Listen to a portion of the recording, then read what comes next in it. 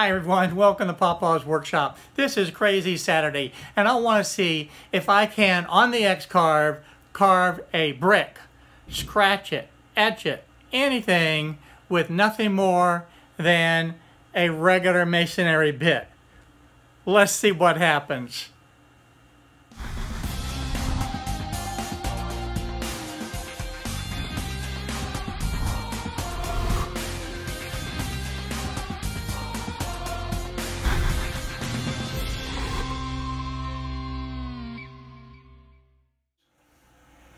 To set this up to be able to try to carve this brick, I'm going to set up an Easel as far as the material itself and I'm going to set it as aluminum. Because that's really about the hardest uh, item that is in there.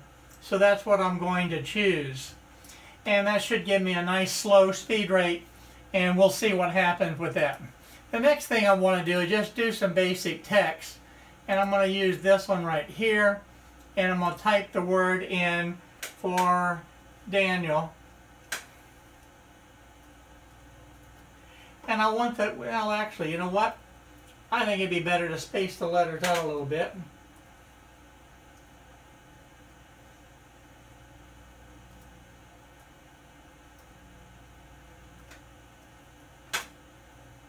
There we go. Now we've got the letters spaced out. And I definitely don't want to cut them this deep. So we're going to go ahead and cut this on this experiment about 3 hundredths of an inch, a 0.03. So that's going to be a nice shallow cut. The other thing I want to do is set my XY axis for in the center. So to do that, we're just going to go up here to the shape, make sure that's in the center, and set this on my x-axis at 0 and the y-axis at 0. And that is going to position it oops, right down here in this point. And that way on the table, that's where my XY axis is going to be for the home position for the work. All right, now then, let's just go ahead and see if we can carve this. And we'll see what happens.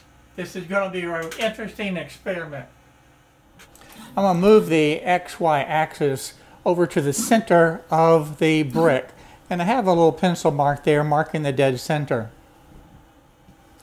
Now due to the thickness of the brick, I can't actually use a Z probe because it would actually go up and hit the limits. So I'm having to set the Z axis manually using the paper.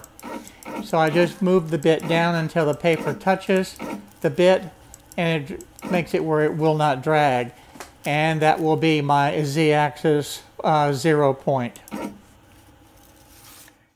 Doing the first letter is always real exciting because you have no idea what to expect. But it is cutting, and that's a good thing. With these extremely light passes, it actually looks more like it's scoring the brick than it is cutting it or carving. As the letter A begins to carve, you can see it's just a very, very light score that is just barely making a scratch on the brick. So after several passes, it's beginning to look like the letter A.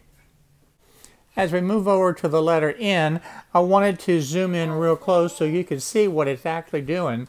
And all it's really doing at this point on this first pass is scratching the surface of the brick. And now the letter N is beginning to take shape and it's looking like the letter's supposed to look. You can also see the hard and soft places that are in the brick and you can see how it carves completely different as it moves across the letter. On the letter I, you see where it's not perfectly straight, and that's because of the hard place in the brick. Now I wanted to try something a little bit different. I actually grabbed the brick and raised it up a little bit so that would be a little bit more of aggressive cut. And it actually worked pretty well. So that is something I think I can do in the future is make my cuts more aggressive. As you look at the letter L being carved, you can actually see the bit moving a little bit left and right as it overcomes the hard and soft places in the brick.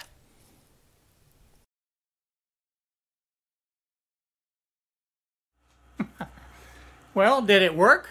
Actually, yes, it did work. Is it the best in the world? No, but it's the first experiment. I'm not going to use the masonry bit this next time. Next time I'm going to go ahead and get a ceramic bit and we're going to see what happens with that. But that's for another video. So again, if you like this video today, go ahead and hit the like button and hit the subscribe button down below and the bell next to it so that you'll be notified on the various videos that I upload. So thanks for watching on Crazy Saturday today, doing this fun experiment.